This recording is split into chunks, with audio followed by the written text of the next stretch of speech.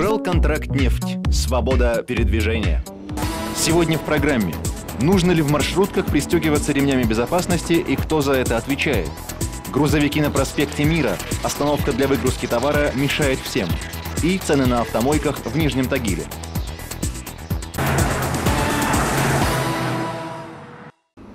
Недавно произошло ДТП с маршруткой. Ребенок разбил голову. Должны ли быть ремни безопасности в общественном транспорте? Кто несет ответственность в случае подобных инцидентов? В данном случае пассажиров перевозила маршрутная «Газель». Заводом-изготовителем на данной модели транспортного средства не предусмотрены ремни безопасности в салоне.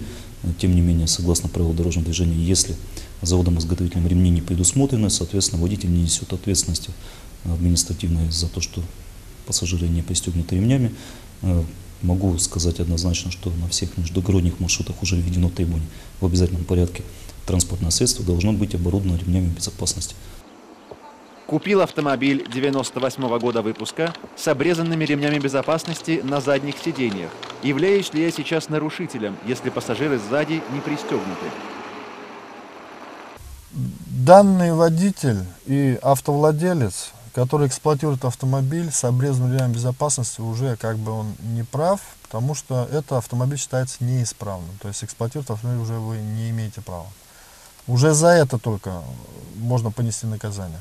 Уж не говоря о том, что в автомобиле, который с завода по конструкции предусматривает наличие этих ремней, а у вас их нет, то есть это чисто ваши проблемы. Вы должны были эти, э, даже вот я не знаю, где эту машину взяли, эти обрезанные ремни заменить на новые.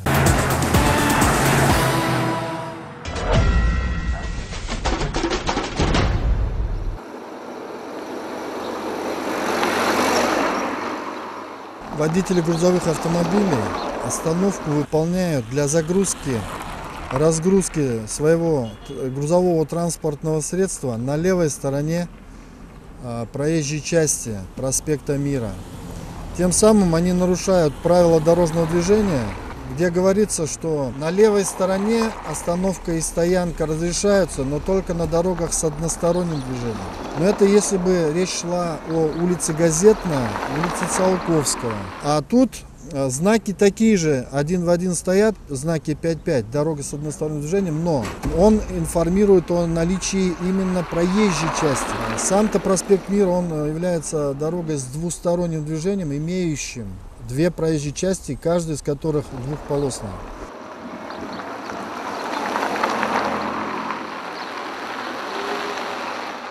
Знак «Одностороннее движение» на проспекте Мира относится не к дороге в целом, а к одной проезжей части. Соответственно, остановка слева здесь запрещена и приводит к затору и потенциальному ДТП. Данные водители должны э, вставать на стоянку или остановочные действия, которые связаны с разгрузкой-погрузкой, производить только на правой стороне. Да, это, конечно, сложно для них, потому что им придется а, уже разгружаться, буквально носить это все через проезжую часть, но это уже другой вопрос.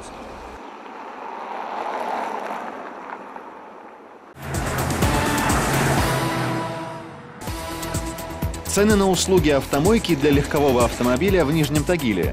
Экспресс-мойка кузова от 70 до 170 рублей, бесконтактная мойка автомобиля от 100 до 250, полировка кузова от 400 до 600 рублей, химчистка сидений от 400 до 600, химчистка всего салона обойдется примерно в 1000 рублей.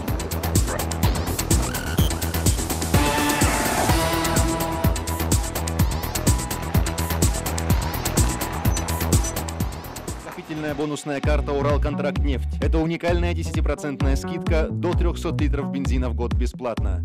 Чем больше вы заправляетесь, тем больше вы экономите. Спрашивайте на автозаправках и в офисе компании «Уралконтрактнефть». «Уралконтрактнефть» – все виды нефтепродуктов оптом и в розницу.